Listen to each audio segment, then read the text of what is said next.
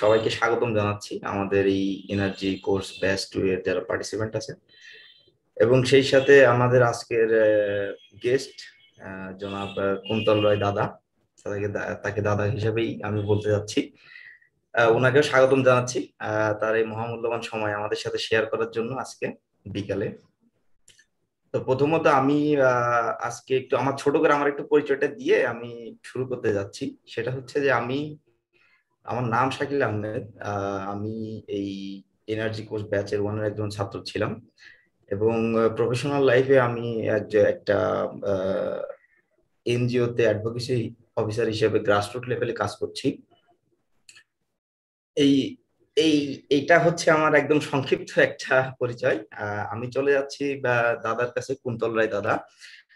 আপনারা হয়তো অনেকে জেনে থাকবেন যে দাদা বেশ পরিচিত আমাদের এই সেক্টর গুলাতে। বিশেষ করে যারা সাংবাদিকতার সাথে যুক্ত আছেন, তারা দাদাকে চিনে থাকবেন। তারপরে আমি দাদাকে একটু পরিচয় করে দিই সবার সাথে।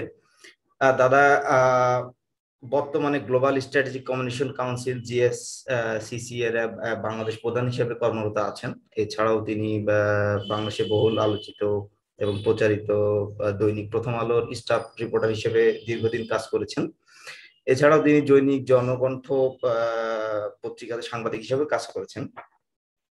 তা আমি দাদাকে রিকোয়েস্ট করব যে আজকের আমার সেশনের যে মূল এজেন্ডা যেটা আমরা হচ্ছে শেয়ার করেছি, সবাই আমাদের পার্টিসিপেন্ট হয়তো জানেন, যে আজকের আমাদের যে টপিকটা ছিল, সেটা আমরা লিখেছি এভাবে যে energy projects what are the things to see featuring Kunal Roy Kuntal Roy তো আমি, আপনারা যারা পার্টিসিপেন্ট আছেন, তারা হয়তো সবাই জানেন যে আমাদের এই কোর্সের কিছু গ্রাউন্ড রুলস আছে যখন আমরা সেশনে বসি। সেটা হচ্ছে যে আমাদের স্পিকার যখন কথা বলবেন বা তার সেশনটা শেষ হবে, তারপরে আমরা একটা প্রশ্নোত্তর পর্ব রাখি।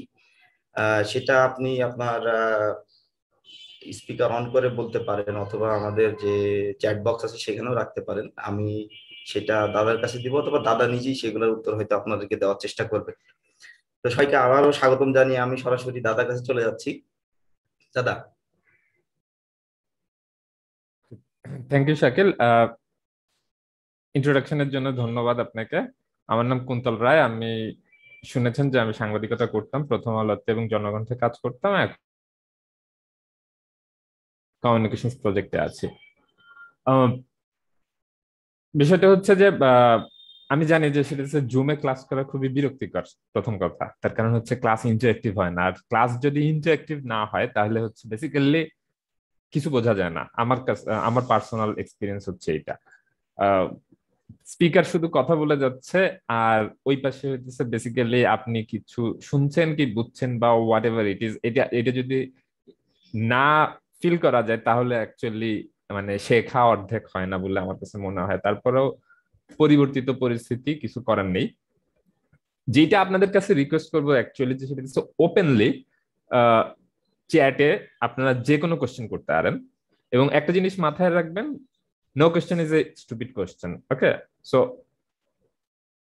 কোনো চিন্তা করার কারণ নেই যে সেটা এইটা স্টুপিড কোয়েশ্চেন কিনা, এটা আমি জিজ্ঞাসা করব কিনা। আপনার মাথায় যা আসবে, আপনি যা জানতে চান সেটা হচ্ছে চ্যাটে যদি আপনি লিখতে থাকেন নিজের মতো করে, তাহলে হচ্ছে দেখা যাবে যে আমি হয়তো দেখা যাবে যে আমি একটা বিষয় নিয়ে কথা বলছি, আপনি সেটাতে ইন্টারেস্ট বোধ করছেন আপনি অন্য স্পেসিফিক কোনো কিছু নিয়ে জানতে চান।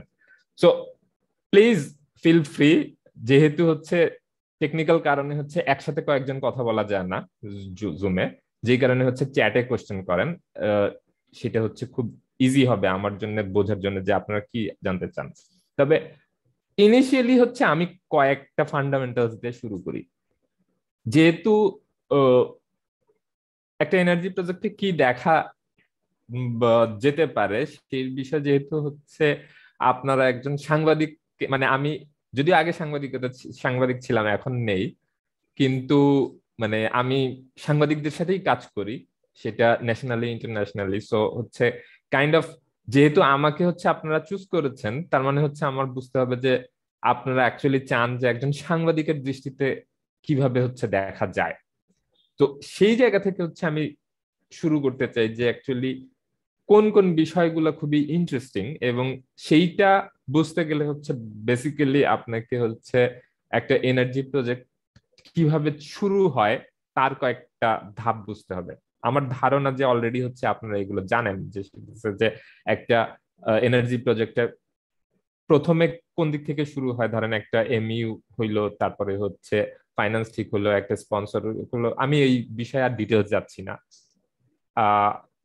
কেউ কি একজন রেসপন্স করতে পারেন যে সেটা এই বিষয়গুলো জানেন কিনা আপনারা অবশ্যই যে কীভাবে একটা পাওয়ার প্রজেক্ট শুরু হতে পারে?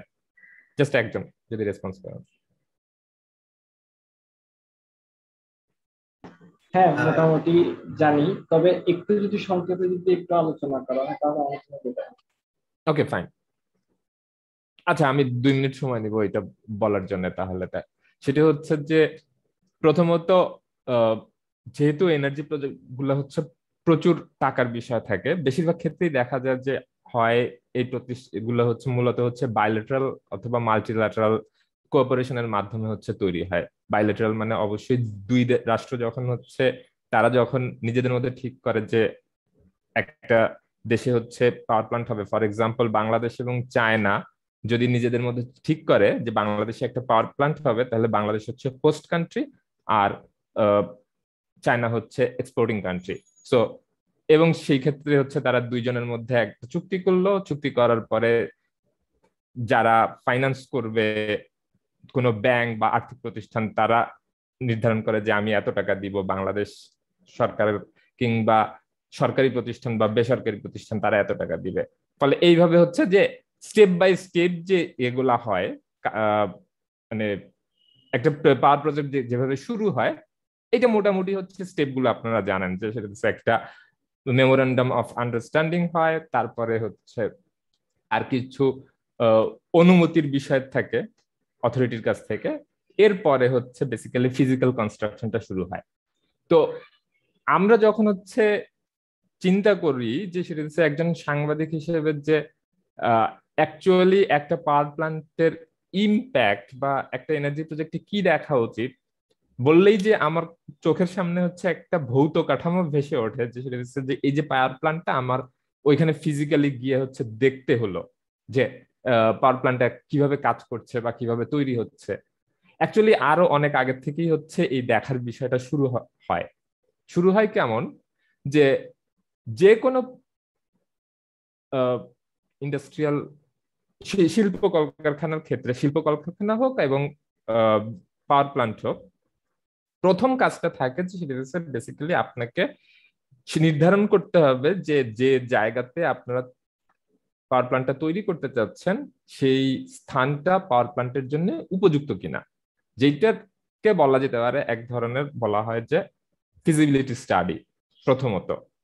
সো আপনি সিদ্ধান্ত নিলেন যে আমি এই পাওয়ার প্ল্যান্টটা তৈরি করব, ধরেন পাওয়ার পায়রাতে কিংবা হচ্ছে রামপালে। তো জায়গাটা হচ্ছে আগে প্রথমে আপনাকে নির্ধারণ করে আপনাকে সেটা হচ্ছে ফিজিবিলিটি স্টাডি করতে হবে। এবং প্রি ফিজিবিলিটি মানে এর আরও কয়েকটা ধাপ থাকে। প্রি ফিজিবিলিটি থাকে ফিজিবিলিটি থাকে। এরপরে সর্বশেষ হচ্ছে পরিবেশ মন্ত্রণালয়ের কাছ থেকে হচ্ছে বাংলাদেশের আইন অনুযায়ী একটা অনুমতি নিতে হয়, যেটাকে বলে হচ্ছে ইসা ইসা দ্যাট মিনস হচ্ছে environment and social impact assessment ESIA তো আমি শুরু করতে চাই বেসিক্যালি হচ্ছে ইএসআইএ দিয়ে। প্রি ফিজিবিলিটি অথবা ফিজিবিলিটি খুব বেশি যে কাজে আসে কাজে আসে না তা না, কিন্তু অত ডিটেলসে আর না যাই environmental and social impact assessment খুবই গুরুত্বপূর্ণ একটা বিষয়। এর প্রথম কারণ হচ্ছে যে কোনো শিল্প কলকারখানা বাংলাদেশের আইন অনুযায়ী যে যখন কোনো একটা শিল্প কলকারখানা স্থাপন করতে হয়, তখন আগে দেখতে হয় যে এই কলকারখানা বা বিদ্যুৎ কেন্দ্র কিন্তু এই কলকারখানাগুলোর মধ্যেই হচ্ছে অন্তর্ভুক্ত। তাহলে এই যে প্রজেক্টটা তৈরি হবে কিংবা এই যে পাওয়ার প্ল্যান্টটা তৈরি হবে, সেইটা বেসিক্যালি হচ্ছে ওই এলাকার পরিবেশ এবং সামাজিক দুই ক্ষেত্রেই কোন ধরনের ইম্প্যাক্ট তৈরি করবে। প্রভাব তৈরি করবে। সেই জিনিসটা হচ্ছে প্রথম দেখার বিষয় এবং সেইটা যদি দেখা যায়, বাংলাদেশের আইন অনুযায়ী হচ্ছে তিন ধরনের ইয়ে তৈরি হয়। একটা হচ্ছে সবুজ, একটা হলুদ, আর একটা লাল। লাল মানে হচ্ছে যে ধরনের প্রকল্পগুলো হচ্ছে মারাত্মক পরিবেশগত এবং সামাজিক প্রভাব তৈরি করবে। হলুদটা মাঝামাঝি এবং সবুজটা হচ্ছে কোনো ধরনের প্রভাব তৈরি করবে না। উনিশশো সাতানব্বই সালে হচ্ছে এই গাইডলাইনটা তৈরি করা হয়েছিল। সম্প্রতি দুহাজার একুশ সালে এই গাইডলাইনটা হচ্ছে সংশোধন করা হয়েছে। সংশোধিত গাইডলাইনটা হচ্ছে আপনার পরিবেশ মন্ত্রণালয়ের ওয়েবসাইটেই আছে। কিন্তু একুশ সালে ওই গাইডলাইনের পরে কোনো পাওয়ার প্লান্ট এখনও পর্যন্ত অ্যাপ্রুভাল পায়নি বলে আমার জানা। যে কারণে হচ্ছে এখনও পর্যন্ত উনিশশো সাতানব্বই সালের গাইডলাইনটাই হচ্ছে বেসিক্যালি হচ্ছে দেখা হয়। তার কারণ এখন যেসব প্রকল্পগুলো হচ্ছে নির্মাণাধীন হচ্ছে সবগুলোই ওই সাতানব্বই সালের গাইডলাইন মেনে হচ্ছে করা হয়েছে। তো একজন সাংবাদিক হিসাবে কিংবা হচ্ছে একজন এনকোয়ারার হিসাবে আপনি যদি দেখতে চান যে আসলে কি, তাহলে হচ্ছে এনভায়রনমেন্টাল অ্যান্ড সোশ্যাল ইম্প্যাক্ট অ্যাসেসমেন্টই হচ্ছে আপনি দেখতে পারবেন যে সেটা হচ্ছে ওই প্রকল্পের প্রথমত পরিবেশগত প্রভাব কি। এখন একটা পাওয়ার প্ল্যান্টের কথায় আসি, যে সেটা হচ্ছে আমরা জানি যে পাওয়ার প্ল্যান্টগুলো তৈরি হয় মূলত হচ্ছে একটা বিশাল জায়গা জুড়ে প্লাস তার সেটা যখন হচ্ছে রান করে, স্বাভাবিকভাবেই হচ্ছে তার কিছু পরিবেশগত প্রভাব থাকতে পারে। কি কেন থাকতে পারে? তার কারণ হচ্ছে কয়লা বিদ্যুতের কথা যখন আমরা বলি, কয়লা হচ্ছে এমনই একটা খনিজ পদার্থ যার সঙ্গে হচ্ছে অনেক ধরনের হচ্ছে রাসায়নিক পদার্থ থাকে, যার মধ্যে একটা গুরুত্বপূর্ণ রাসায়নিক পদার্থ হচ্ছে মার্কারি বা পারদ। মার্কারির বাংলা তো পারদ নাকি? আচ্ছা মার্কারি। তো মূলত হচ্ছে কয়লা বিদ্যুৎ কেন্দ্র খুবই সিম্পলি হচ্ছে, তিরিশ সেকেন্ডে যদি আপনি যদি বলতে চান যে কয়লা বিদ্যুৎ কেন্দ্র কীভাবে বিদ্যুৎ উৎপাদন করে, সে হচ্ছে কয়লা পোড়ায়, কয়লা পোড়ানোর ফলে যে তাপ শক্তি তৈরি হয়, সেই তাপ শক্তিকে সে হচ্ছে বিদ্যুৎ শক্তিতে পরিণত করে। খুবই সিম্পল যদিও অনেক টেকনিক্যালিটিস আছে কিন্তু মানে এটা হচ্ছে ক্লাস নাইন টেনের হচ্ছে ফিজিক্স এর বিষয় যে কীভাবে হচ্ছে তাপ শক্তিকে হচ্ছে বিদ্যুৎ শক্তিকে এক এনার্জি কীভাবে আরেক এনার্জিতে পরিণত হয়। সো ইটস কোয়াইট ইজি তো স্বাভাবিকভাবে যখন হচ্ছে আপনি কয়লা পোড়াবেন আপনি নববর্ষের দিনে কিংবা হচ্ছে নিউ হ্যাঁ, ইয়ারের সময় তো হচ্ছে আপনারা বারবিকিউ করেন কিংবা হোয়াট এভার অনেকেই হচ্ছে বারবিকিউ করেন।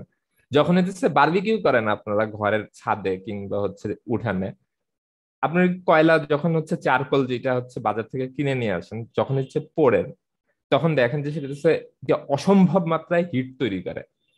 যেটা হইতেছে আপনি গ্যাসের চুলায় কিংবা আপনি ইলেকট্রিক ওভেনে ইলেকট্রিক ওভেনে আপনি দেখবেন যে বাসা বাড়িতে আমরা যে ইলেকট্রিক ওভেনগুলো চালাই, সেগুলোতে মূলত দুইশো ষাট ডিগ্রি সেলসিয়াসের উপরে তাপমাত্রা যায় না। গ্যাস ওভেনেও হচ্ছে একশো আশি, দুইশো দুইশো বিশ, এরকম। কিন্তু বার্বিকিউ যখন আপনারা করেন, তখন দেখবেন যে কয়লা যখন আগুন ধরে যায়, তারপরে যখন হচ্ছে সেটা নিভে যায়, তখন হচ্ছে আশেপাশে হচ্ছে পুরা একটা বড় এরিয়া হচ্ছে গরম হয়ে যায়। তার কারণ হচ্ছে কয়লার একটা বড় ক্ষমতা হচ্ছে সে তিনশো থেকে চারশো ডিগ্রি সেলসিয়াস তাপমাত্রা উৎপন্ন করতে পারে। যেই কারণে যেহেতু সে বেশি হিট তৈরি করতে পারে, তার ফলে যেটা হয় যে কয়লার ভিতরের যে পদার্থগুলো আছে, বিভিন্ন ধরনের রাসায়নিক পদার্থ, যার one of them is mercury mercury হচ্ছে বেসিক্যালি সে রিলিজ করা শুরু করে, বাতাসে রিলিজ করে।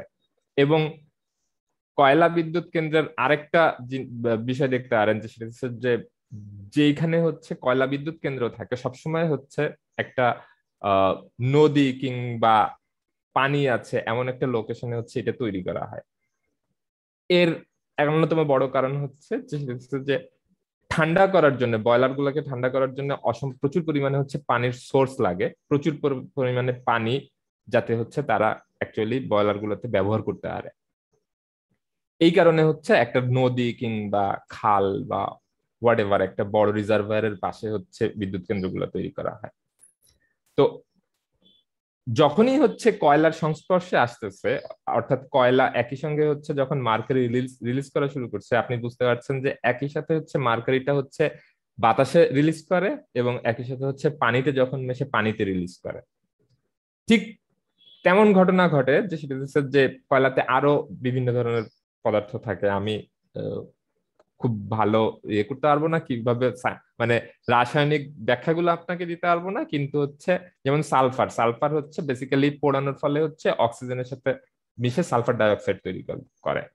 নাইট্রোজেন থাকে নাইট্রোজেন হচ্ছে অক্সিজেনের মধ্যে হচ্ছে পোড়ানো হলে পোড়ানো হলে, পোড়ানো মানেই হচ্ছে বেসিক্যালি হচ্ছে অক্সিজেনের সাথে হচ্ছে নাইট্রোজেন মিশছে, ফলে হচ্ছে নাইট্রাস অক্সাইড তৈরি করে। যে এই যে রাসায়নিক পদার্থগুলো সবগুলাই হচ্ছে রিলিজ করছে হচ্ছে বাতাসে। আর সেই সঙ্গে যেটা আপনি যখন বারবিকিউ করেন, তখন আপনি নিজেই দেখেন যে কয়লা পড়লেই হচ্ছে ছাই হয়। স্বাভাবিকভাবেই হচ্ছে আপনি যখন টন টন কয়লা পোড়াচ্ছেন, তখন হচ্ছে সেখানে প্রচুর পরিমাণে ছাই হবে। যেই ছাই হচ্ছে, যাকে বলে হচ্ছে কোল অ্যাশ, সেই ছাই হচ্ছে বাতাসে মেশে। ফলে এই যে কয়েকটা ক্লিয়ারলি অনেক এনভায়রনমেন্টাল ইম্প্যাক্টের মধ্যে একটা ক্লিয়ার ইম্প্যাক্ট হচ্ছে আপনি কয়লা বিদ্যুৎ তৈরি কয়লা থেকে বিদ্যুৎ তৈরি করার জন্য যে কয়লাটা ব্যবহার করছেন সেটা পোড়ালেই হচ্ছে আপনার কতগুলো রাসায়নিক পদার্থ তৈরি হচ্ছে যেটা হচ্ছে পরিবেশের জন্য অথবা মানব শরীরের জন্য ক্ষতিকর। Any questions at this point কারণ কেউ রেসপন্স করছেন না তো ফলে হচ্ছে বোঝা যাচ্ছে না যে আমি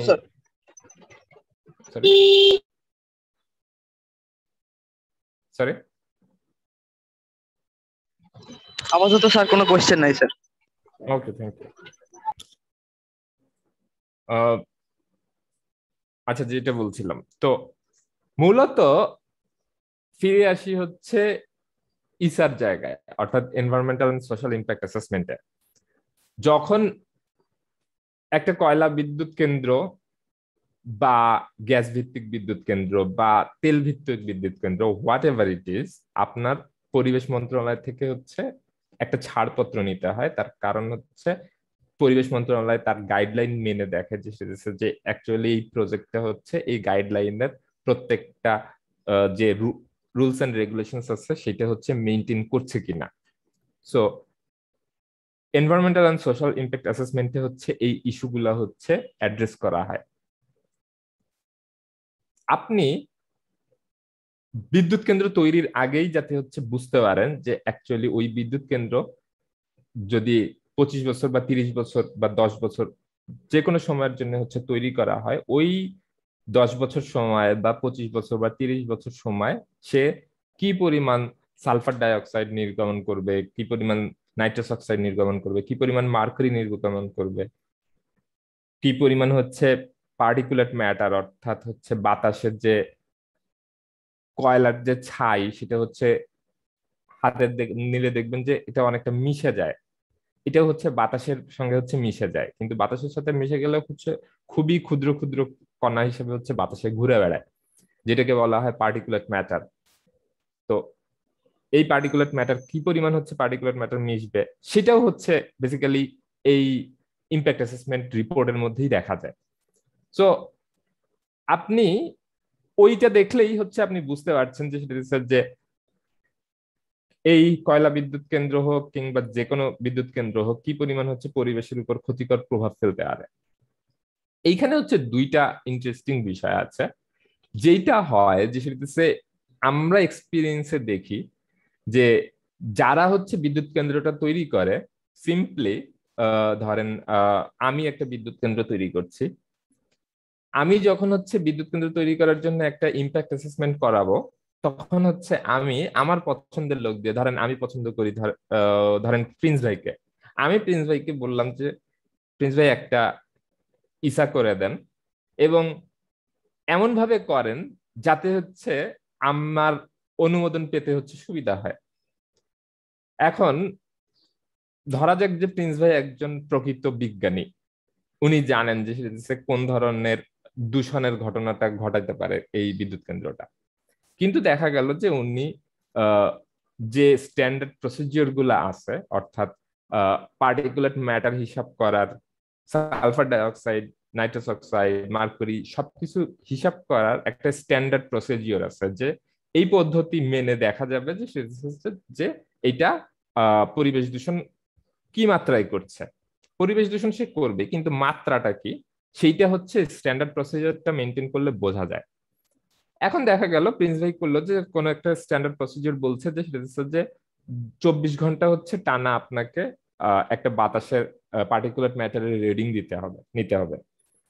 এবং সেটা করতে হবে ড্রাই সিজনে অর্থাৎ শুষ্ক মৌসুমে। কিন্তু ধরেন আপনি সেটা করলেন, আপনি চব্বিশ ঘন্টাই হচ্ছে আপনি রিডিং নিলেন, বাতাসে কি পরিমাণ পার্টিকুলার ম্যাটার আছে ওই জায়গাতে কিন্তু সেটা আপনি করলেন ধরেন বর্ষাকালে। এখন বর্ষাকালে বৃষ্টির কারণে দেখা যায় যে বাতাস অনেক ক্লিয়ার থাকে, আমাদের সারাউন্ডিংস অনেক ক্লিয়ার থাকে। তো স্বাভাবিকভাবে তখন হচ্ছে আপনার পার্টিকুলার ম্যাটারটা হচ্ছে কম রিডিং রিডিং আসলো কম। এবং আপনি বললেন যে ওইখানকার বাতাসের মান এমনিতেই ভালো। কিন্তু বেসিক্যালি তা না। আপনি কি করলেন? আপনি অ্যাকচুয়ালি ডিস্টর্ট করলেন ইনফরমেশনটা এখন ইসাতে অবশ্যই উল্লেখ থাকবে যে কোন সময়ে আপনি এই বাতাসের রিডিংটা নিয়েছেন? অর্থাৎ আপনি মান নির্ধারণ করেছেন কখন? এটা অবশ্যই সেখানে উল্লেখ থাকবে। কত ঘণ্টা উল্লেখ থাকবে? কোন মেশিন দিয়ে করেছেন সেটা উল্লেখ থাকবে। সব স্ট্যান্ডার্ড প্রসিডিওরগুলো হচ্ছে এখানে উল্লেখ থাকে। আবার আরেকটা উদাহরণ দিই, যেটা হচ্ছে হরহামেশাই ঘটে, যে সেটা হচ্ছে যে বলা হয় যে আমাদের যে কোনো গাইডলাইন যখন তৈরি হয়, তার মানে হচ্ছে আপনি বুঝতে পারছেন যে একটা স্ট্যান্ডার্ড আছে। আমার স্ট্যান্ডার্ড হচ্ছে ধরেন ডাব্লিউএইচও যখন বলছে যে সেটা হচ্ছে বাতাসে পার্টিকুলেট ম্যাটার হচ্ছে, ধরেন দশ শতাংশ বেশি হচ্ছে থাকা যাবে না। সেই জায়গায় হচ্ছে বাংলাদেশের একটা স্ট্যান্ডার্ড আছে, সেইখানে বলছে যে পনেরো শতাংশের বেশি থাকা যাবে না। এখন আপনি environmental and social impact assessment করার সময় আপনি দেখলেন যে ওইখানে বাতাসে particular matter actually twenty five পার্সেন্টের উপরে চলে যাচ্ছে। এখন তাইলে আপনি কি করবেন? আপনার, আমার কনসালটেন্ট প্রিন্স ভাই হচ্ছে ইসাটা তৈরি করছে। সে হচ্ছে দেখা দেখা গেল যে এই পঁচিশ পার্সেন্টের কীভাবে হচ্ছে ডাব্লিউএইচওর স্ট্যান্ডার্ড দশ পার্সেন্টের নিচে নামিয়ে আনা যায়, সেই চেষ্টাটা উনি করতে থাকবেন। এই চেষ্টা করার ক্ষেত্রে উনি যেটা করবেন যে সেটা হচ্ছে বিভিন্ন ধরনের ছল চাতুরির আশ্রয় নেবেন। দেখা যাবে যে সেটা হচ্ছে কোনো জায়গাতে হচ্ছে চব্বিশ ঘণ্টা বাতাসের মান নেওয়ার কথা ছিল, সেইখানে হচ্ছে উনি দুই ঘণ্টা নিলেন। দেখা গেল কোনো জায়গাতে হচ্ছে পানির মান নির্ধারণের জন্য যে স্ট্যান্ডার্ড প্রসিডিওর আছে, সেই স্ট্যান্ডার্ড প্রসিডিওরটাকে হচ্ছে উনি মেনটেন করলেন না। সবচেয়ে গুরুত্বপূর্ণ বিষয় হচ্ছে ইসাতে এই সবগুলোই হচ্ছে লেখা থাকে। কোনটা হচ্ছে স্ট্যান্ডার্ড এবং কীভাবে হচ্ছে এই মানটা নির্ধারণ করা হয়েছে এবং কীভাবে হচ্ছে তারা সিদ্ধান্তে উপনীত হলো যে এই প্রজেক্ট পরিবেশের ক্ষতি করবে কি করবে না। তার মানে বুঝতে পারছেন যে আপনি যখন হচ্ছে একটা প্রকল্প শুরু হওয়ার আগেই যদি আপনি তার পরিবেশ এবং সামাজিক প্রভাব সমীক্ষাটা আপনি দেখেন, তাহলেই আপনি বুঝতে পারবেন যে এই পাওয়ার প্রকল্প বিদ্যুৎ কেন্দ্রটা হচ্ছে যথাযথ নিয়ম মেনে তৈরি হচ্ছে কি হচ্ছে না। সেই কারণে একজন সাংবাদিক কিংবা একজন অনুসন্ধানকারী হিসাবে আপনার প্রথম প্রায়োরিটি থাকবে যে আপনি এনভায়রনমেন্টাল এন্ড সোশ্যাল ইম্প্যাক্ট অ্যাসেসমেন্টটা দেখবেন। এক। কোনো প্রশ্ন আছে কারও? কোনো কিছু বুঝতে সমস্যা হচ্ছে কিনা? দাদা আমার একটা জানার ছিল। জি প্লিজ সেটা হচ্ছে যে ওই যে আপনি কিছুক্ষণ আগে বললেন যে হচ্ছে পার্টিকুলার ম্যাটার্স মানে করার সময় যে দশ পার্সেন্ট বা পঁচিশ পার্সেন্ট যে পার্টিকুলার ম্যাটার্স এইটা আসলে কি জিনিস? আচ্ছা।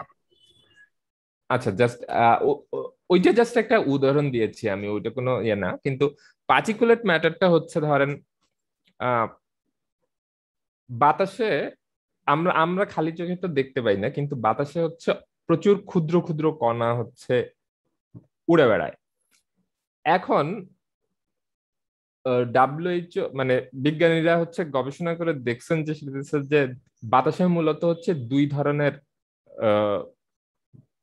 বাংলা বলা খুব কঠিন আর কি। ধুলিকণা বলেন আর বালুকণা বলেন বা ক্ষুদ্র কণাই বলেন। সেইটাকে একটা হচ্ছে, একটা থাকে হচ্ছে একটু বড়, একটা থাকে হচ্ছে খুবই ছোট।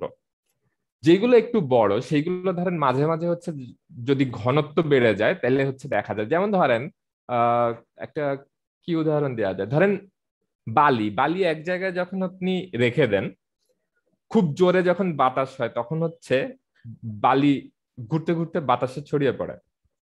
আপনি সাদা চোখে মানে দেখতে পারবেন যে সেটা হচ্ছে যে অনেক জায়গায় এক, বাতাসের একটা জায়গায় হচ্ছে যদি প্রচুর পরিমাণে বালি জমা হয়ে যায়, তাহলে হচ্ছে মানে ক্লাউডের মতো সৃষ্টি হয়। এখন বালিকণা কিন্তু হচ্ছে যথেষ্ট বড়। যদি হচ্ছে আমাদের আঙ্গুলের মধ্যেই হচ্ছে ধরা যাবে, কিন্তু বালিকণা যথেষ্ট বড়। এগুলো হচ্ছে particular matter two ten particular matter ten হচ্ছে বড়টাকে বলে, যেগুলো হচ্ছে দেখা যায় যে আমরা খালি চোখে হচ্ছে দেখতে পারি অলমোস্ট দেখতে পারি। আর টু পয়েন্ট ফাইভ যেটা হচ্ছে খুবই ক্ষুদ্র সেইগুলোকে হচ্ছে বেসিক্যালি আমরা দেখতে পাই না, কিন্তু সেগুলো হচ্ছে বাতাসে থাকে। এখন আমি যে বললাম যে ছাই, দেখবেন যে কাঠের ছাই বলেন কিংবা কয়লার ছাই বলেন, আপনি যখন হাতে ছাই নেবেন, অল্প একটু ছাই নিয়ে দেখবেন যে হাতে দুই আঙ্গুল দিয়ে হচ্ছে ঘষলে দেখবেন যে আপনার হাতের সঙ্গে মিশে যাচ্ছে। কিন্তু মিশে যাচ্ছে মানে এই না যে সেটা উধাও হয়ে যাচ্ছে, এটা কোনো না কোনো ফর্মে অ্যাকচুয়ালি আছে। এইটা তখন হচ্ছে পার্টিকুলার ম্যাটার টু পয়েন্ট ফাইভে পরিণত হয় এবং সেই জিনিসটা বেসিক্যালি বাতাসের সাথে হচ্ছে মিশে যায়। তো এই জিনিসটা হচ্ছে দেখতে পাই না আমরা, কিন্তু আমরা যখন নিঃশ্বাস নেই, আমাদের প্রথমে নাক দিয়ে যায়। নাক দিয়ে আমরা ধরেন অক্সিজেন নিচ্ছি। আমাদের প্রত্যেকের নাকের ভিতরে হচ্ছে, ছোট ছোট হচ্ছে লোম থাকে, যার কাজ হচ্ছে পিএম টেন কে আটকানো, অর্থাৎ বালি কিংবা এই ধরনের যে ম্যাটারগুলো আছে, এই ম্যাটারগুলো মূলত হচ্ছে আমাদের নাকের ভিতরে যে ছোট ছোট ছোট রোমগুলা থাকে, সেগুলোতে হচ্ছে আটকে যায়। যে কারণে দেখেন তখন হাঁচি হয় বা কাশি হয়। কিন্তু PM two point five actually আমাদের নাকের যে মেকানিজম আছে, সেটা আটকাইতে পারে না। সেটা লাঙের ভিতরে চলে যায়, নিঃশ্বাসের সাথে সঙ্গে হচ্ছে ফুসফুসে ঢুকে যায়। ফুসফুসে ঢুকে আস্তে আস্তে আস্তে আস্তে জমা হয়। সেম অনেকটা হচ্ছে আমরা যখন স্মোক করি স্মোক করলে নিকোটিন যেভাবে আস্তে আস্তে হচ্ছে ফুসফুসে জমা হয়, তেমনি হচ্ছে পার্টিকুলার ম্যাটার টু পয়েন্ট ফাইভটাও হচ্ছে আপনার ফুসফুসের বিভিন্ন যে জায়গাগুলা থাকে সেখানে হচ্ছে জমা হয়। আমি খুব ভালো জানি না কোন জায়গাতে জমা হয়, কিন্তু জমা হয় আর কি। এটা ডাক্তাররা আরও ভালো বলতে পারবে। তো এইটাকে বলা হয় হচ্ছে পার্টিকুলার ম্যাটার এবং আপনি এইটার হচ্ছে একটা গাইডলাইন থাকে, অর্থাৎ প্রথমত হচ্ছে এটার একটা গাইডলাইন আছে ডাব্লিউএইচও ওয়ার্ল্ড হেলথ অর্গানাইজেশন নির্ধারণ করেছে। যেটা প্রায় আঠারো বছর সরি একুশ বছর পরে এই কিছুদিন আগে তারা এটাকে আরও শক্তিশালী করেছে। অর্থাৎ হচ্ছে বাতাসে কোন, কি পরিমাণ পার্টিকুলার ম্যাটার থাকতে পারবে এবং কোন কি মাত্রার উপরে চলে গেলে সেটা হচ্ছে শরীরের জন্য ঝুঁকি। তার একটা হিসাব ডাব্লিউএইচওর ছিল। সেইটা তারা হচ্ছে চেঞ্জ করেছে। সরি ডাব্লিউএইচও ওয়ার্ল্ড ব্যাংকের মতো প্রতিষ্ঠানগুলো ইএসআই এর ব্যাপারে কীভাবে আচরণ করে? একটু এক্সপ্লেন করবেন আমি কোশ্চেনটা বুঝিনি। এমডি শাকিলুর রহমান আপনার কোশ্চেনটা ছিল হচ্ছে ডাব্লিউএইচও বা ডাব্লিউবি এর মতো প্রতিষ্ঠানগুলো ইসরায়েলের ব্যাপারে কীভাবে আচরণ করে? আপনি একটু কাইন্ডলি ডিটেল ওটা মানে করার আগে এই বিষয়গুলো দেখে কিনা। যে মূল্যায়নের ব্যাপারটা কি আচ্ছা প্রথম কথা হচ্ছে ডাব্লিউএইচও কোনো কিছুতে বিনিয়োগ করে না। ডাব্লিউএইচও হচ্ছে জাতিসংঘের একটা প্রতিষ্ঠান। জাতিসংঘের হচ্ছে অসংখ্য প্রতিষ্ঠান আছে। তার মধ্যে একটা প্রতিষ্ঠান হচ্ছে ওয়ার্ল্ড হেলথ অর্গানাইজেশন তার হেডকোয়ার্টার হচ্ছে জিনিভাতে। তাদের কাজ হচ্ছে বেসিক্যালি হেলথের স্ট্যান্ডার্ড প্রসিজিওর গুলাকে হচ্ছে তুলে ধরা। এবং আমাদের যে পাবলিক হেলথ সিস্টেমের বিভিন্ন ইস্যু আছে, যেমন হচ্ছে ইমিউনাইজেশন যেমন হচ্ছে আপনার ভ্যাকসিনেশন যেমন ধরেন প্যান্ডেমিককে কীভাবে হ্যান্ডেল করতে হবে, এই বিষয়ে হচ্ছে তারা গাইডলাইন দেয়। ডাব্লিউএইচও আমি আজ পর্যন্ত শুনিনি কোনো দিন হচ্ছে পাওয়ার প্ল্যান্টে বিনিয়োগ করেছে। ঘটনাটা হচ্ছে ডাব্লিউএইচও যে গাইডলাইন দেয়, স্বাস্থ্যর আপনাকে সুস্থ থাকতে গেলে হচ্ছে রাষ্ট্রগুলার কোন ধরনের ব্যবস্থা নিতে হবে স্বাস্থ্য খাতে। তার পরামর্শ দেয় হচ্ছে ডাব্লিউএইচও প্রবলেমটা হচ্ছে ডাব্লিউএইচও তো একটি ইউনাইটেড নেশনস হচ্ছে একটা রাষ্ট্রগুলো হচ্ছে একমত হয়ে এই প্রতিষ্ঠানদেরকে তৈরি করেছে। কিন্তু ডাব্লিউএইচওর এই ক্ষমতা নেই কোন রাষ্ট্রকে হচ্ছে বাধ্য করা যে আপনার হেলথ স্ট্যান্ডার্ড বা হেলথ প্রসিজিওর এমনটা হইতেই হবে। সে পরামর্শ দিতে পারে যেমনটা ধরেন হচ্ছে জাতিসংঘের মানবাধিকার রক্ষা বিষয়ক কমিশন, সে বাংলাদেশকে বলতে পারে যে তোমার দেশে মানবাধিকার ইয়ে করা হচ্ছে, লঙ্ঘন করা হচ্ছে, তুমি এই মানবাধিকারের বিষয়ে হচ্ছে নজর দাও। কিন্তু তাদের মানবাধিকার কমিশন বাংলাদেশে এসে কোনো তদন্ত করতে পারে না। যদি করতে হয়, তাকে হচ্ছে বাংলাদেশ সরকারের অনুমতি নিয়ে তারপরে হচ্ছে এখানে আসতে হয়। আর তার কোনো হচ্ছে আলাদা মিলিটারি ফোর্স বা পুলিশ ফোর্স নেই যে সে হচ্ছে সে এসে বাংলাদেশকে, বাংলাদেশ রাষ্ট্র হিসেবে হচ্ছে তাকে শাস্তি দিবে যে তোমরা মানবাধিকার লঙ্ঘন কেমন, কেন করছ? তেমনি ডাব্লিউএইচওরও একই রকম। বাংলাদেশে যদি হচ্ছে দেখা যায় যে বাংলাদেশ সরকার বা রাষ্ট্র বা যে কোনো প্রতিষ্ঠান স্বাস্থ্য বিনষ্ট করে এমন ঘটনা ঘটাচ্ছে ডাব্লিউএইচও বলতে আরে যে তোমরা এটা করো না, কিন্তু ডাব্লিউএইচও বলতে আরে এসে এটাকে হচ্ছে বন্ধ করার ক্ষমতা তার নাই। ফলে ডাব্লিউএইচও তার কাজ করে, তার দায়িত্ব পালন করেই শেষে। সে বলছে যে যে, বাতাসে যদি পার্টিকুলেট ম্যাটার এই নির্দিষ্ট এই পরিমাণের চেয়ে বেশি থাকে, তাহলে হচ্ছে তোমার লাং ক্যান্সার তৈরি করবে সৃষ্টি হতে পারে, কিংবা ক্যান্সার তৈরি হতে পারে, কিংবা আদার রেসপিরেটরি ডিজিজেস তৈরি আসতে পারে। কিন্তু সে বলবে না যে সেটা তুমি এটা করতে পারবা না।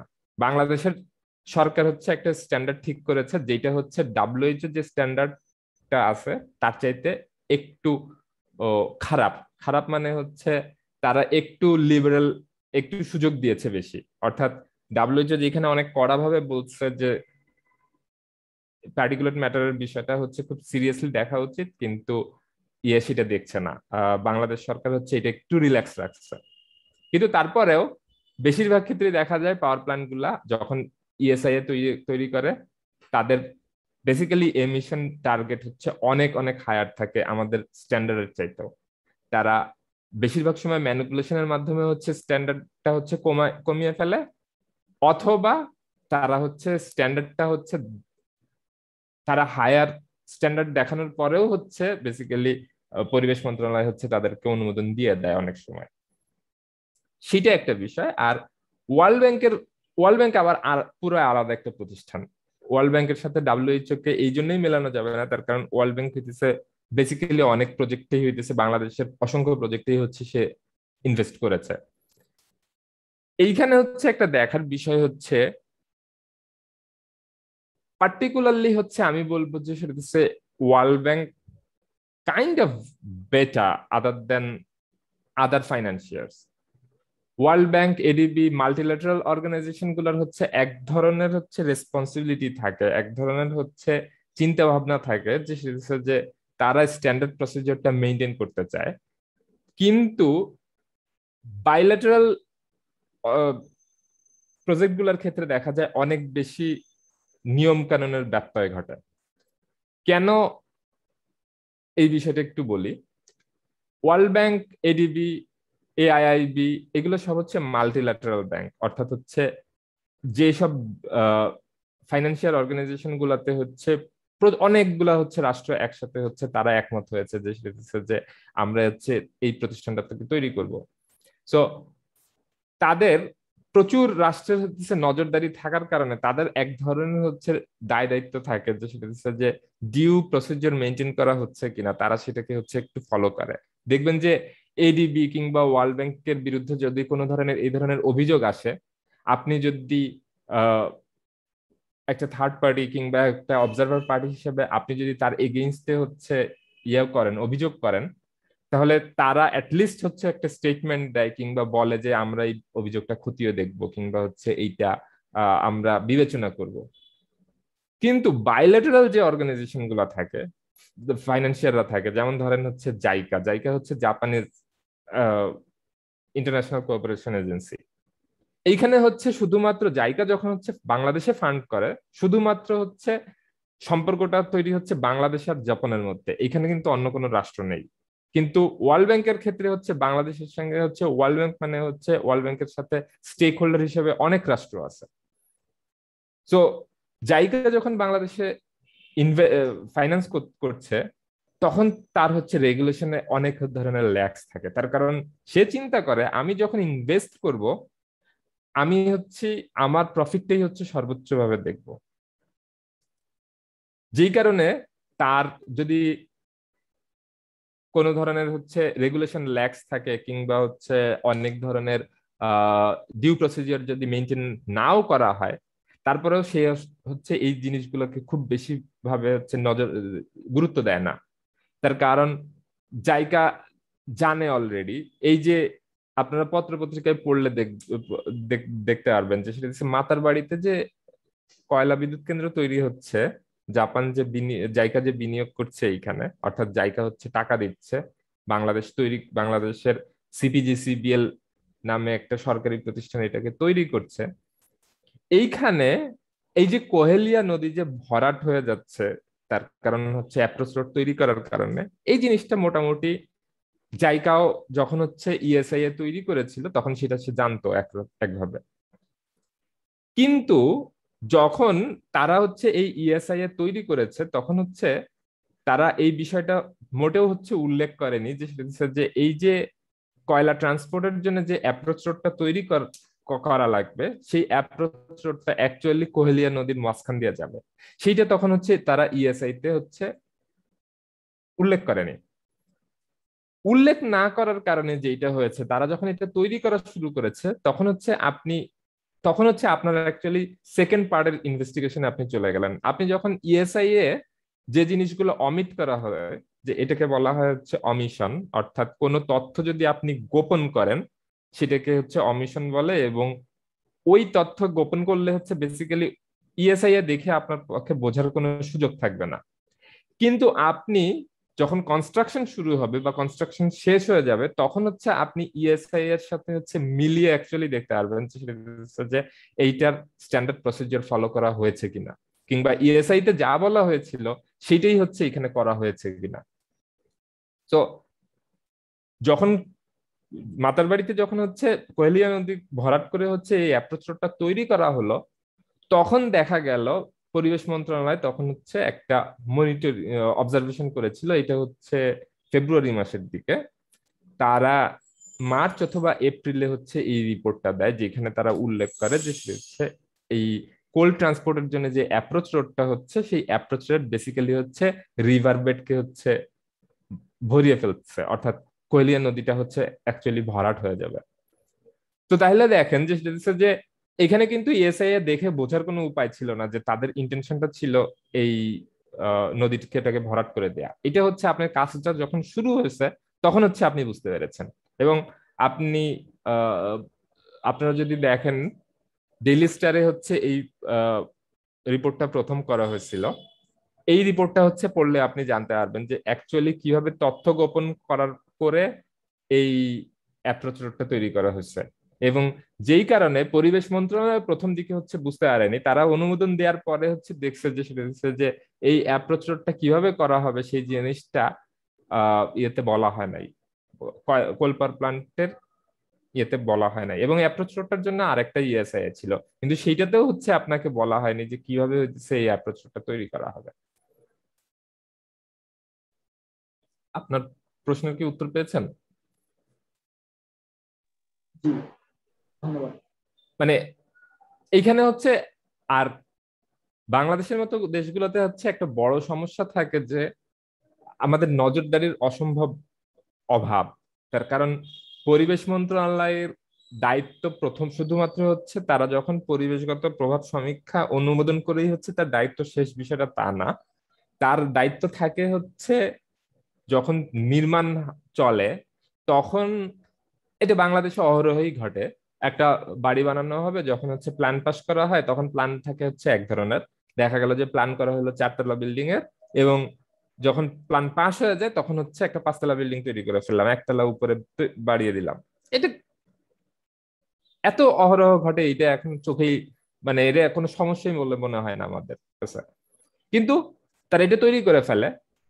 আপনি কি খুব রেয়ার কেসে দেখবেন, যখন হচ্ছে অভিযান শুরু হয় তখন দেখবেন যে সেটা দিচ্ছে কিংবা আপনি একটা বারান্দা হচ্ছে একটু বাড়িয়ে রাস্তার উপরে নিয়ে ফেললেন। এরপরে দেখা যায় যে বছরে একবার কিংবা দুই বছরে কিংবা তিন বছরে যে সিটি কর্পোরেশন হচ্ছে বুলডোজার নিয়ে হচ্ছে অতিরিক্ত জায়গা ভাঙতেছে কিংবা হচ্ছে এক্সট্রা যদি কোনো ফ্লোর থাকে সেটা হচ্ছে ভাঙছে। কিন্তু প্ল্যানকে যেটা প্ল্যান করা হয়েছিল সেই প্ল্যান না মেনটেন করে অন্য একটা কাজ করা, এটা বাংলাদেশে খুবই কমন প্র্যাকটিস এটা বন্ধ করার একমাত্র উপায় কি? এটার অ্যাকচুয়ালি হইতেছে এই দায়িত্ব হচ্ছে যে অনুমোদন দেয় তার। অর্থাৎ আপনি যদি বলেন যে ঢাকা শহরে এই দায়িত্ব কার? ঢাকা শহরে দায়িত্ব রাজুকের। তার কারণ রাজুক একটা ভবন তৈরির অনুমোদন দিয়েছে। তারই দায়িত্ব এই মনিটরিং করা যে এটা ঠিক মতো তৈরি হয়েছে কিনা প্ল্যান মোতাবেক তৈরি হয়েছে কিনা এবং ভবন তৈরি হওয়ার পরে দায়িত্ব শেষ না। পরবর্তীতেও হচ্ছে ওই ভবনের কোনো ধরনের কোনো কাজে পরিকল্পনার বাইরে করা হয়েছে কিনা সেটাও নজরদারি করা রাজুকের দায়িত্ব। কিন্তু দুঃখজনকভাবে রাজুক সেটা করে না। তার ক্যাপাসিটি না থাকার কারণেই হোক কিংবা ইচ্ছা না থাকার কারণেই হোক। পরিবেশ মন্ত্রণালয়ের ক্ষেত্রে আপনি একই কথা বলতে পারেন। অনুমোদন করার পরে নির্মাণ দেখা এবং সেইটা পরবর্তীতে নির্মাণ শেষ হয়ে যাওয়ার পরে সেটা হচ্ছে পরিকল্পনা অনুযায়ী চলছে কিনা সেটাও দেখা হচ্ছে পরিবেশ মন্ত্রণালয়ের কাজ। এক নাম্বার হচ্ছে বাংলাদেশে এখন যত ডেভেলপমেন্ট প্রজেক্ট চলছে, তার প্রত্যেকটা কাজ মনিটরিং করার ক্যাপাসিটি পরিবেশ মন্ত্রণালয়ের নাই, এক নাম্বার। আর দুই নাম্বার হচ্ছে আমাদের যে হিউজ করাপশন কালচার আছে, সেই করাপশন কালচারের পার্ট হিসাবে তারাও হচ্ছে বিষয়টাকে হচ্ছে অত্যন্ত নেগলিজেন্সি নেগলেক্ট করে। তারা হচ্ছে এটা টোটালি দেখেই না। তবে হ্যাঁ মাতার বাড়ির মতন বড় বড় প্রোগ্রামের ক্ষেত্রে, বড় বড় প্রজেক্টের ক্ষেত্রে হচ্ছে পরিবেশ মন্ত্রণালয় হচ্ছে নজর দেয়। তাও নজর দেয় তখনই যখন হচ্ছে সংবাদপত্রে সেটা আসে। ডেলি স্টারে যখন হচ্ছে প্রধান শিরোনাম হিসেবে করা হলো যে কীভাবে হচ্ছে এই রাস্তা তৈরির জন্য নদীটা মরে যাচ্ছে, তখন এটার জন্য হাইকোর্টের, নদী বাঁচানোর জন্য হাইকোর্টের রিট পিটিশন করা হলো। তারপরে পরিবেশ মন্ত্রণালয় একটা কমিটি গঠন করল, তারা হচ্ছে সেই জায়গাতে গেল। জায়গাতে গিয়ে তখন তার কাজ ছিল হচ্ছে রিপোর্টটা দেখা ইএসআইআর দেখা এবং কীভাবে কাজ হচ্ছে সেটা দেখা। এটা মিলিয়ে তারা দেখল যে একটা হিউজ গরমিল আছে। তারপরে তারা এটা প্রতিবেদন দিল যে হ্যাঁ আসলে অ্যাকচুয়ালি নিয়ম মেনে এই কাজটা হচ্ছে না। পরিবেশ মন্ত্রণালয় যে কাজটা করছে, সেই কাজটা কিন্তু আপনি ইন্টারেস্টিংলি দেখেন, যে সাংবাদিক ডেলি স্টারে এই রিপোর্টটা করেছিল, সে কিন্তু তার আগে করে ফেলছে। এখন আপনি বলতে পারেন হ্যাঁ পরিবেশ মন্ত্রণালয়ের যে ক্যাপাসিটি এবং তার যে এক্সপার্টিজ আছে, একজন রিপোর্টারের সেই এক্সপার্টিজ আছে কিনা? থাকার দরকার নেই অ্যাকচুয়ালি কিন্তু কিছু জিনিস আপনি খুব সহজেই মিলাই নিতে পারবেন। আপনার হাতে যখন হচ্ছে লেখা দেখছেন যে, সেটা যে, আপনি বলেছিলেন যে, আপনি এই কাজগুলো করবেন এবং আপনি ফিজিক্যালি ভিজিট করে দেখলে, দেখতে পাচ্ছেন যে, এই এই কাজগুলো করা হয়েছে এবং এগুলো হয়নি। আপনি ইজিলি একটা রিপোর্ট লিখতে পারবেন যে, অনুসন্ধান করে দেখতে পাচ্ছেন যে আপনি যে কোথায় কোথায় হচ্ছে নিয়ম ভাঙা হয়েছে। সো বেসিক্যালি পরিবেশ মন্ত্রণালয়ের কাজ আর একজন সাংবাদিকের কাজের মধ্যে যেমন কোনো পার্থক্য নেই, তেমনি যে কনসালটেন্ট ইএসআই এ লিখেছে এবং যে এটাকে রিভিউ করছে, আর একজন সাংবাদিক যে এটাকে রিভিউ করছে, তার কাজের মধ্যেও বেসিক্যালি কোনো পার্থক্য নাই। শুধুমাত্র একজন সাংবাদিক কি হয়, সাংবাদিকরা স্বাভাবিকভাবে হচ্ছে এই সব বিষয়ে এক্সপার্ট থাকে না। যে ইএসআই তৈরি করেছে, সেখানে হচ্ছে এনভায়রনমেন্টাল ইঞ্জিনিয়ার ছিল সেখানে সিভিল ইঞ্জিনিয়ার ছিল সেখানে মেকানিক্যাল ইঞ্জিনিয়ার ছিলেন। সাংবাদিক হিসেবে আপনার যেটা করতে হবে, আপনি অ্যাকচুয়ালি কোনোটাই জানেন না। আপনি সিভিল ইঞ্জিনিয়ার না, আপনি মেকানিক্যাল না, আপনি এনভায়রনমেন্টাল ইঞ্জিনিয়ার না। আপনার যেটা আছে, আপনার সবার কাছে অ্যাক্সেস আছে। ফলে হচ্ছে আপনার ইএসআই ঠিকভাবে লেখা হয়েছে কিনা, এটা বুঝতে গেলে যেটা করতে হবে, আপনাকে একজন এনভায়রনমেন্টাল ইঞ্জিনিয়ার কাছে যেতে হবে। যে সেটা দিচ্ছে যে আচ্ছা এই বাতাসে পার্টিকুলেট ম্যাটার দূষণের বিষয়টা কীভাবে ইয়ে করা হয়েছে, এটা কি ঠিক আছে কিনা? এটা আপনি অ্যাসেসমেন্ট করে বলতে পারবেন কিনা? সে দেখে এটা আপনাকে এক্সপার্ট অপিনিয়ন দিবে। যেই কারণে আপনি তার এক্সপার্ট অপিনিয়ন ফলো করবেন। তার কারণ আপনি তো এক্সপার্ট না। আমরা সেই কার যখন একটা রিপোর্ট লিখি, সবসময় দেখবেন যে একটা সাপোর্টিং বক্তব্য থাকে, যে সেক্ষেত্রে আমরা যে ফাইন্ডিংসটা পাই, সবসময় হচ্ছে এটা সাপোর্ট করে। ধরেন পরিবেশ দূষণের ক্ষেত্রে বলি সেইখানে হচ্ছে যে এক্সপার্টরা আছেন, ধরেন বাংলাদেশে একটা একজন ফর এক্সাম্পল সিজিআইএস একটা বড় প্রতিষ্ঠান যে হচ্ছে এই কাজগুলো করে। সো এখন সিএজিআইএস এর একটা তৈরি করা এনভায়রনমেন্টাল ইম্প্যাক্ট অ্যাসেসমেন্টকে যখন হচ্ছে আমরা রিভিউ করি, তখন দেখা গেল আমরা রিভিউ করতে পাঠালাম কার কাছে?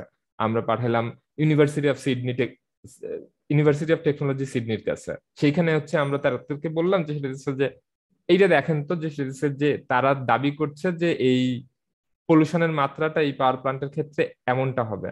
আসলে কি তাই? তারা অ্যাসেসমেন্ট করে ইচ্ছে এটা আমাদেরকে বলতে পারে যে না, আসলে এটা না। এটা আসলে এখানে ভুল তথ্য দেওয়া হয়েছে বা এখানে তথ্য গোপন করা হয়েছে। তারা এক্সপার্ট তারা সেটা বলতে পারবে। আমরা তাদের এক্সপার্ট কমেন্ট নিয়ে হচ্ছে আমরা রিপোর্ট করব। আমরা কখনোই হচ্ছে নিজে থেকে হচ্ছে বোঝার চেষ্টা করব না।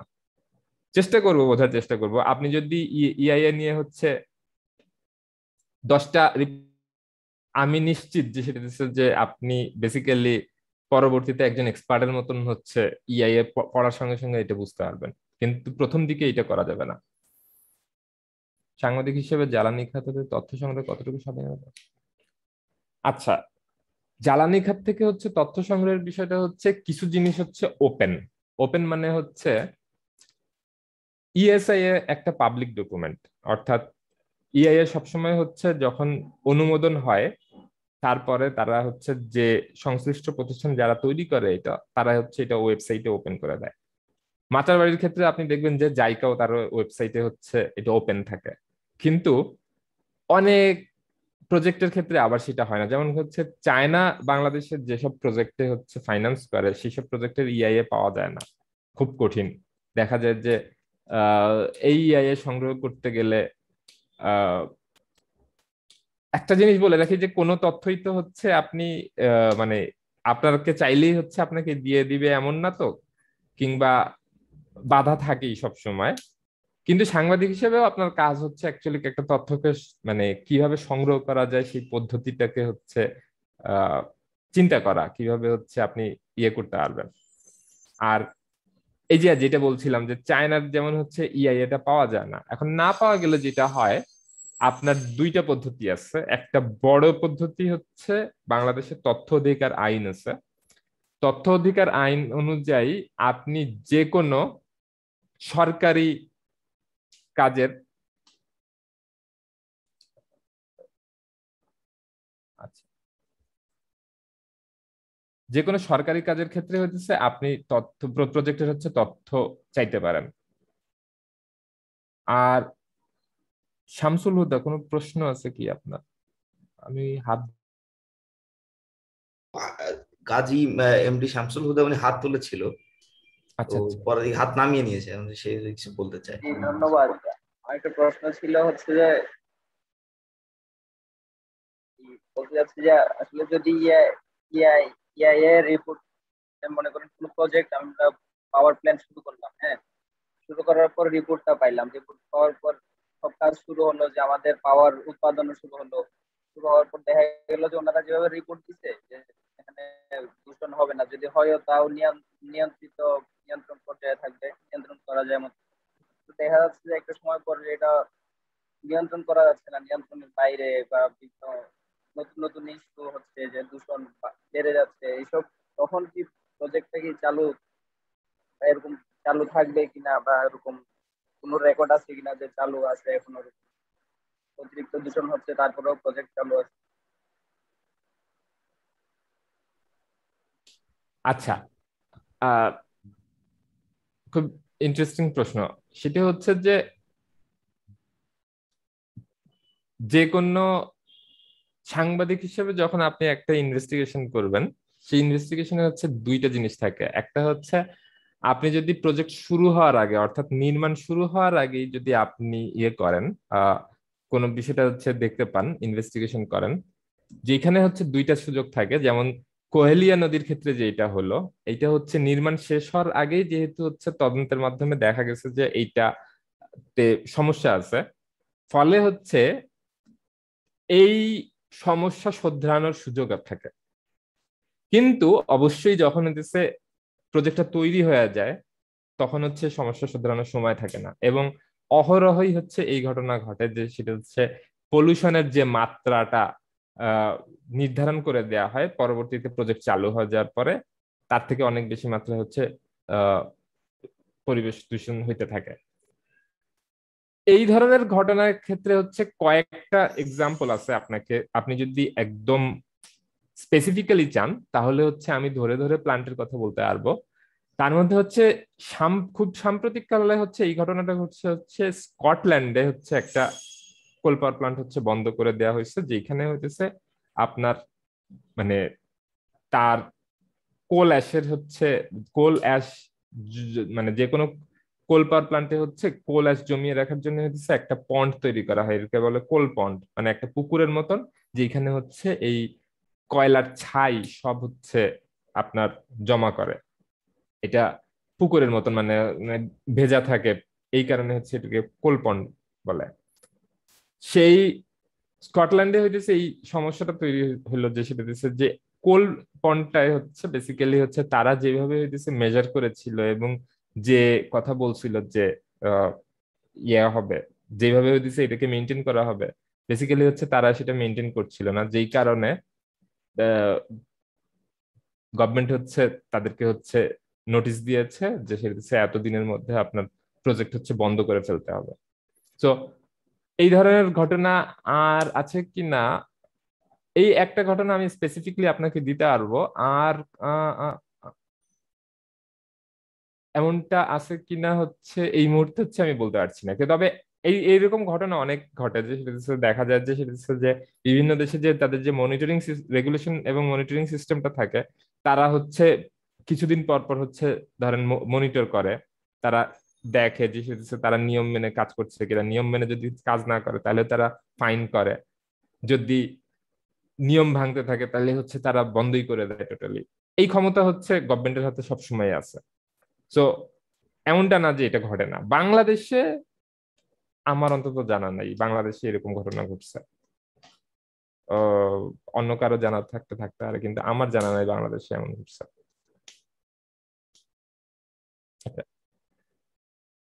আর কারও কোনো প্রশ্ন আছে? দাদা আমার একটা কোশ্চেন ছিল। আমরা যখন ইআই এর রিপোর্ট মানে কোন একটা পাওয়ার প্ল্যান্ট হওয়ার ক্ষেত্রে যখন ইআই এর রিপোর্টগুলো করা হয় তখন তো অনেকগুলো স্টেপ ফলো করা হয়। যেমন পাবলিক ইনভলভমেন্ট থাকে তারপর প্রজেক্ট নিয়ে একটা ডিসক্রিপশন থাকে এরকম তো অনেকগুলো স্টেপ ফলো করে করে আমরা আসি। সেক্ষেত্রে আমাদের বাংলাদেশে বেজ লাইন ডকুমেন্টেশনটা যখন করা হয় সেক্ষেত্রে আমরা আসলে কাদেরকে ফলো করি এই ডকুমেন্টেশনটা তৈরি করার ক্ষেত্রে? যেমন যখন কোল পাওয়ার প্ল্যান্ট হচ্ছে তখন তো অনেক ধরনের ইম্প্যাক্ট হচ্ছে আমরা তো জানি এর একটা নেগেটিভ ইম্প্যাক্ট আছে। সেক্ষেত্রে মিটিগেশনের কথাও তো মানে আমাদের ইআই রিপোর্টে কিন্তু একটা স্টেপ আছে যে মিটিগেশন আপনার করতে হবে। কিন্তু মিটিগেশনটা না করেই কিন্তু তারা এটা হচ্ছে করে যাচ্ছে। কিন্তু সেক্ষেত্রে তারা কি দেখাচ্ছে যে আমরা মিটিগেশন না করে তো একটা প্রজেক্ট প্রজেক্ট করে ফেলতেছি। তো এই ক্ষেত্রে তারা কি ধরনের মানে ডকুমেন্টেশনগুলো কাজে লাগাচ্ছে বেজলাইন ডকুমেন্টেশনগুলো বাংলাদেশের আচ্ছা। ক্ষেত্রে? আমি আপনাদেরকে এক মিনিট দিয়ে দিচ্ছি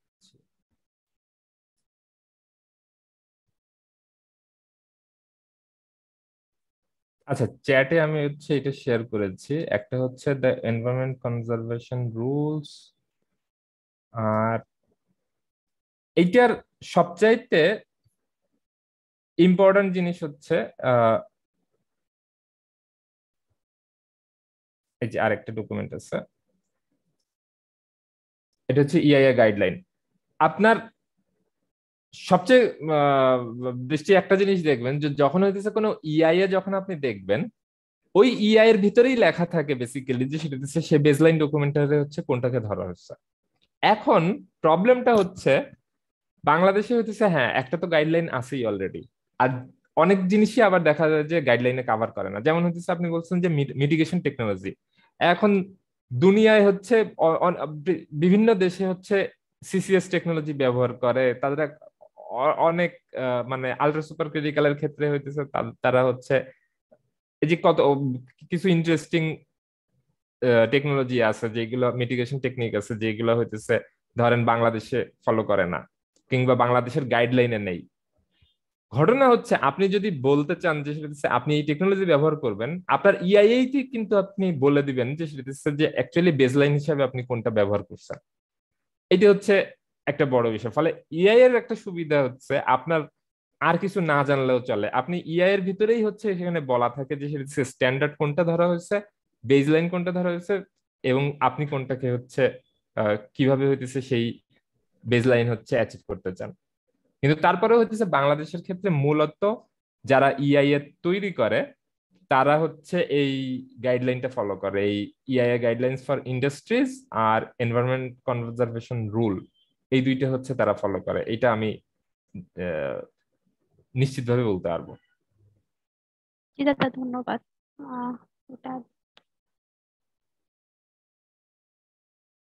আর কারও কোশ্চেন কি আছে? দাদার সরাসরি করতে পারেন।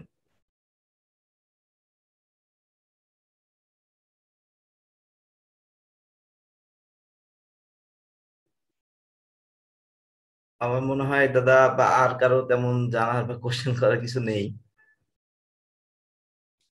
ওকে ধন্যবাদ তাহলে আমি একটু কথা বলছি দাদা আপনাকে। আরও ধন্যবাদ দিতে চাই। কারণ হচ্ছে যে আমরা হয়তো এই পাওয়ার প্ল্যান্ট বা এনার্জি সেক্টর অনেক কিছু নিয়ে কথা বলি কিন্তু যে আপনি যে মেনশন করছেন যে কিছু বেসিক গ্রাউন্ড রুলস আছে যেগুলা যেগুলো আসলে জানা দরকার যে একটা পাওয়ার পয়েন্ট বা একটা কোল পাওয়ার প্ল্যান্ট তৈরি করতে কি কি দরকার? যেরকম এই ইআই রিপোর্ট বা ইএস ইএসআই রিপোর্ট যেটা আপনি বললেন, এইটা আসলে যে গ্রাউন্ডস এর উপরে তৈরি করা হয় বা শেষ পর্যন্ত এটা আসলে টেম্পার হয় এই জিনিসটা হয়তো আমাদের জানা ছিল না যে হয়তো যারা এই বিষয়গুলো জানে, তারা হয়তো টেম্পার করে সেটার যে ভিতরে কতখানি বা পরবর্তীতে যখন প্রজেক্ট রানিং হয়, তখন দেখা যাচ্ছে যে রিপোর্টের সাথে আসলে কাজের কোনো মিল। বা ওই জায়গাটা হচ্ছে একটু একটা দুর্নীতিগ্রস্ত জায়গার মধ্যে পড়ে। এই বিষয়গুলো আসলে আমাদের জন্য গুরুত্বপূর্ণ এই কারণে। কারণ আমরা তো নতুন নতুন কাজ শুরু করেছি। এই জিনিসগুলা আমার মনে হয় যে আমাদের যারা পার্টিসিপেন্ট বা আমরা সবাই সহ আরেকবার রিমাইন্ডার হয়ে থাকবে আমাদের মধ্যে যে এই গ্রাউন্ডগুলো আসলে কেন বা কি কারণে বা আপনি যে ডাব্লিউএইচও বা ওয়ার্ল্ড ব্যাংকের যে আচরণের কথাগুলো বলছেন, সেগুলোর ব্যাপারে আমাদের একটা ক্লিয়ার কনসেপ্ট তৈরি হলো। আমরা হয়তো ভাবতাম যে ডাব্লিউএইচও হয়তো বলে দিলেন কমে যাবে। এরকম না আসলে, বন্ধ হয়ে যাবে। এরকম না। তো সেই জায়গা থেকে আমার মনে হয় যে আপনার সেশনটা আমাদের জন্য গুরুত্বপূর্ণ ছিল। সেই জন্য আপনাকে ধন্যবাদ দিতে চাই। আর আহ, আমাদের সেশনটা মনে হয় প্রায় শেষের দিকে আজকে। তো আমি আমার পক্ষ থেকে আপনাকে ধন্যবাদ দিয়ে আহ, বিশটা পরীক্ষা চলে যাব। যে যে আমাদের এই অ্যাসাইনমেন্ট বা পরবর্তী কোন স্টেপের ব্যাপারে কথা বলছেন ধন্যবাদ দাদা ধন্যবাদ সবাইকে। আহ শাকিল ভাই আপনাকে অসংখ্য ধন্যবাদ। কুন্তল দাদা সম্পূর্ণ সেশনটা সত্যি বলতে অনেক ইন্টারেস্টিং ছিল আর অনেক ছোট ছোট টার্মগুলোর যে এত মানে এত ভ্যালু ছিল যে মানে মানে প্রজেক্ট কীভাবে রান হচ্ছে বা কীভাবে কি করতে হয় কোন স্টেপে কি, জিনিসগুলো খুব ক্লিয়ার একটা কনসেপ্ট আসলে দাঁড়াইছে আমাদের কাছে। আপনাকে আসলে অসংখ্য ধন্যবাদ। আপনার মহামূল্যবান সময়গুলো আমাদের সাথে দিয়েছেন এবং আমাদের আপনার নলেজ শেয়ারিং এর জন্য অনেক ধন্যবাদ দাদা। দাদা তাহলে আমরা আজকে আপনার কাছ থেকে অনেক হ্যাঁ জি দাদা। শিওর হ্যাঁ, কোনো সমস্যা নেই ধন্যবাদ আপনাদেরকে। শুধুমাত্র হচ্ছে আমি শেষ করার আগে একটা জিনিস বলি আপনাদেরকে হচ্ছে এটা এমনিতে ওয়েবসাইটে পাওয়া যায়। এটা হচ্ছে মাতারবাড়ি লাস্ট যেটা হচ্ছে আমি শেয়ার করলাম এটা হচ্ছে এটা মাতারবাড়ি কোল পাওয়ার প্ল্যান্টের অ্যান্ড অ্যাসোসিয়েটেড ফ্যাসিলিটির ইআইএ আমি জানি যে খুবই ইন্টিমেডিটিং যখন হচ্ছে আপনি ছয়শো উননব্বই পৃষ্ঠার একটা ডকুমেন্ট দেখবেন। কিন্তু আপনার যদি হচ্ছে বেসিক্যালি হচ্ছে বুঝতে হয় যে আপনি আপনি একটা ইআইএ পড়া না শুরু করে কখনো হচ্ছে আপনি এর ভিতরে ঢুকতে পারবেন না। সো আপনার নেক্সট কাজ হবে যদি আপনার ইন্টারেস্ট থাকে তাহলে হচ্ছে এটা পড়া। পড়ে হচ্ছে তারপর তাহলে হচ্ছে আপনার কাছে ক্লিয়ার হয়ে যাবে। আর আমি বেশিরভাগ জিনিসই অ্যাকচুয়ালি বলতে পারিনি সময়ের অভাবে। Anyway thank you okay thank you Kuntal the bye সবাইকে বাই ধন্যবাদ। বাই আল্লাহ হাফিজ হ্যাঁ আল্লাহ হাফেজ আবার দেখা হবে আগামী সপ্তাহে।